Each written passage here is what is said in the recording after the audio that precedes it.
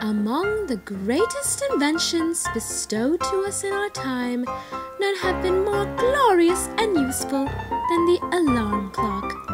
With its ticking hands and warning bells, the humble little alarm clock is always ready to help mankind and...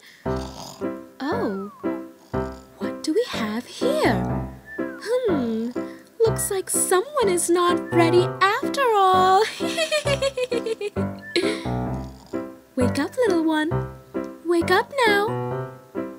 Sir, do you know what time it is? of course you don't. You are missing your hands. No, silly, not those hands. But if you knew what they were, you would already be doing your duty right now, wouldn't you? For instance, you would have been one of many clocks as part of your daily habit to keep your face nice and clean, with your hour and minute hands pinned nice and tight, and your gears and bells intact in a seamless fashion.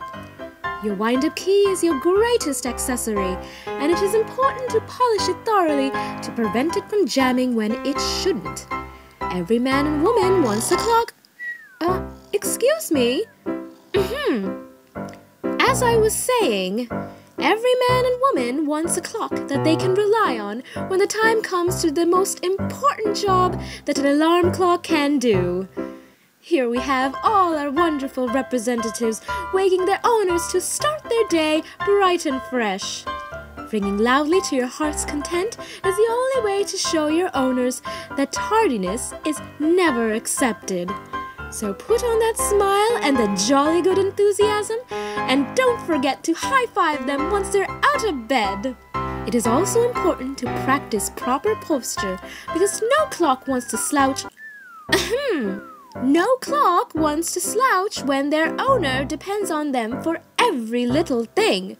To alarm means to be alert and prepared at all times.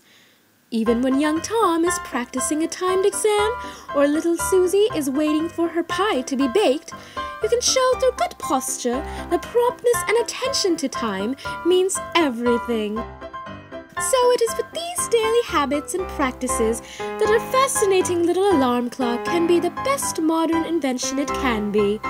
By doing your duty to keep your owners aware and content, even you can become a contributing member in the Clockwork Society.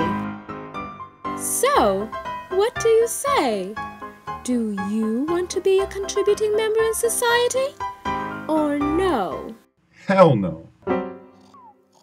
Well, tune in next time when we interrogate the toaster.